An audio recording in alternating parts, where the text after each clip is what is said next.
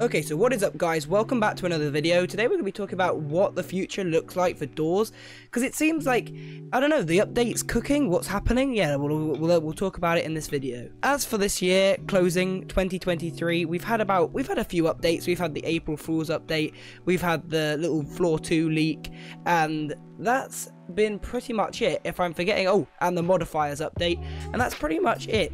Uh, it's been it's been an alright year for doors, but it wasn't as good. I think we can all agree that it wasn't as good as last year. So what can we expect from Floor Two, and when when can we expect it to release? I my predictions, and these are early predictions, is probably somewhere around mid-year to this year, or best case scenario in the in the next few months or weeks.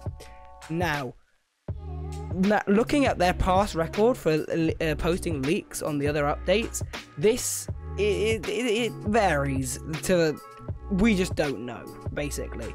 Um there also was a collab announced with mortals or whatever with piggy. I don't know what that's about but you guys can enjoy that event. Um that should be coming soon anyway so we're gonna get a doors update pretty soon. But yeah that's all. See ya